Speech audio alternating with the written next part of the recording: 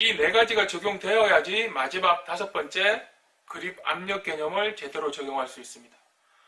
공을 치기 전에 가벼운 힘으로 라켓을 잡고 있다가 타격하기 전에 강하게 힘을 주면서 공을 맞추고 맞춘 후에는 힘을 빼는 동작을 할 수 있게 됩니다. 지금까지 다섯 가지 개념에 대해서 간단하게 알아봤는데 각각의 개념에 대해서 다시 더 자세한 영상을 제작하겠습니다.